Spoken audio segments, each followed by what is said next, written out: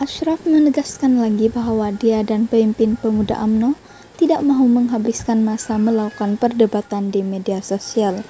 Lebih baik masa yang ada ini digunakan Tengku Zafrul untuk mencari jalan bagi membolehkan pengeluaran dapat dibuat dan mandat KWSP dapat dilaksanakan.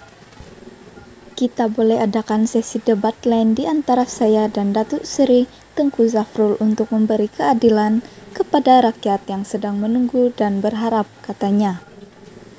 Walaupun telah berkali-kali kerajaan, malah Perdana Menteri sendiri telah memberitahu sendiri pengeluaran itu tidak akan dibenarkan, Ashraf dan pergerakan pemuda AMNO terus menunjukkan sikap keras kepala mereka.